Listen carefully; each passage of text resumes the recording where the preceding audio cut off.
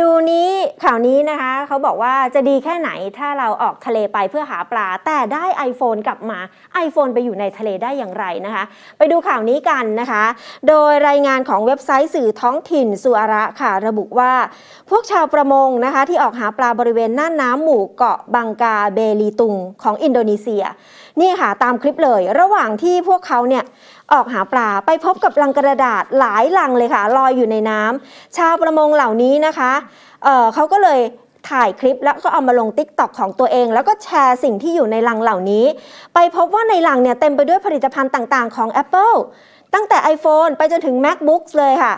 ในวิดีโอที่โพสต์ลงบน TikTok เนี่ยเห็นเรือของชาวประมงกลุ่มนี้เต็มไปด้วยลังกระดาษเลยนะคะ และหนึ่งในนั้นเนี่ยพวกเขาก็หยิบแล้วก็ออกมาแกะลังออกดู เป็นผลิตภัณฑ์ต่างๆ ก็หยิบขึ้นมาแสดงให้กล้องดูด้วย ก็มีทั้ง iPhone MacBook แล้วก็ iPad ดูเหมือนยังอยู่ในสภาพที่แห้งนะคะ น้ำเนี่ยยังไม่ได้เข้าเครื่อง ตลอดระยะเวลาที่มันลอยอยู่กลางทะเลนะคะก็พิจารณาจากราคาผลิตภัณฑ์ต่าง ๆ ของ Apple เนี่ย